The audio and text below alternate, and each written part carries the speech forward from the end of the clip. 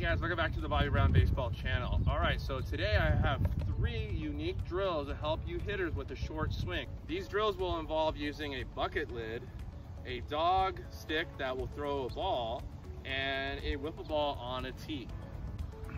So before we get started, I need to show you guys that when we're hitting, it's important that we have a nice short swing. In order to do that, we must tuck our elbow in, that's our back elbow right here. Keep our hands pretty close to our chest right here.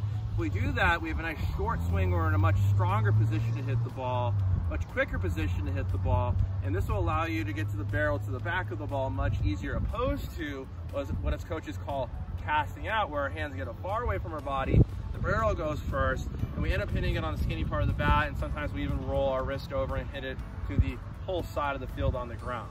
Here's another angle right here. Back elbow stays tucked in, hands close to the chest. My hands are inside this ball right now. This will allow me to get the barrel to the back of the ball.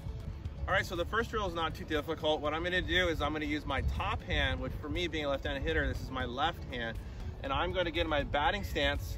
My right hand can just go across my chest or it can just be off to the side. I prefer to have it right here. What I'm gonna do is I'm gonna go through my regular stance, I'm gonna load, stride, and then I'm gonna go slow, tuck my elbow in, and then I'm gonna grab the ball. All I'm gonna do. I'm gonna do it again. Stance, load, stride, elbows tucked in, grab the ball. Notice how I'm not going fast through this, I'm going slow. The whole point of this is to get your hitters to feel this position right here with the elbow staying tucked in. Important to note that I'm not standing too far away from the ball where I'm gonna have to reach out. That's not the whole point of this drill. I must get pretty close to the plate, pretty close to the ball in order to accomplish this drill. Show you guys again. So when I'm getting in this position right here, I'm making a sideways triangle with both my arms. I'm tucking my elbow in, and then you'll see my front elbow here is going straight out, and then that's gonna go towards the ball when I'm swinging. All right, so bottom hand first, I'm gonna grab it with my palm facing down because when you guys are swinging and your bottom hand is going through the zone, it's gonna have the palm facing down and it's gonna be palm down at contact. So here I'm in my regular stance, I load, I stride, I'm gonna get my elbow out and I'm gonna throw the bucket lid straight. My whole goal is to throw it straight ahead.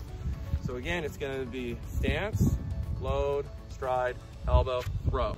Stance, load, stride, elbow, all right, so now palm up for your top hand. So getting a regular stance, and then you're gonna be tucking the elbow in, across your side, and then you're gonna release it straight ahead. Now notice how my arm is extending forward.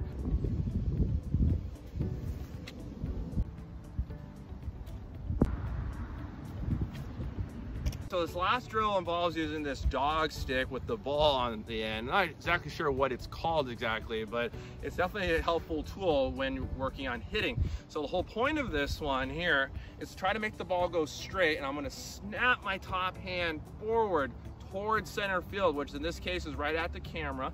So I'm gonna go knob first, pause for a second, and then I'm gonna snap my wrist and the ball should fly off going straight. Now, when I'm doing this, I don't want my hands to go away. I don't want my hands to cast out. I want my hands to go straight towards center field. Pause right here, and snap the wrist.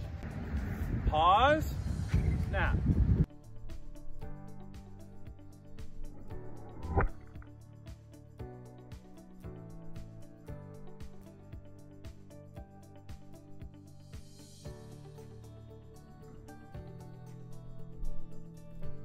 All right, so you can definitely use a tennis ball on the end of this if you don't have a wiffle ball to use. So nevertheless, those are three unique drills to work on having a shorter swing, which is definitely very important. Work on all those three unique drills and you might find yourselves getting faster than you think. Thank you guys for watching. I hope you guys enjoyed the video. Please make sure you hit that like button down below. Subscribe for future content. And remember, if I can overcome the bench, so can you.